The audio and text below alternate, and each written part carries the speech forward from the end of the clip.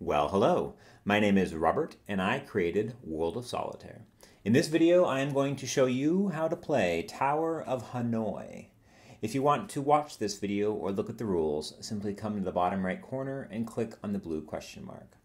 So the goal of Tower of Hanoi is to stack all nine cards in order from nine to ace, uh, from the top to the bottom.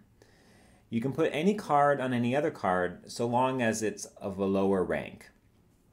So I can put the ace of spades on the six of spades because the ace is less than six. I can put the two under the eight. The ace can go under the two. The four is less than six. Ace is less than nine. Two is less than four. The ace or one is less than two.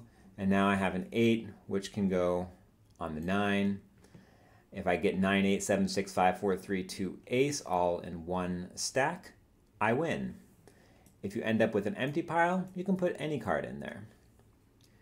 Well, I hope this video was useful, and I hope you have fun playing. Thanks. Bye.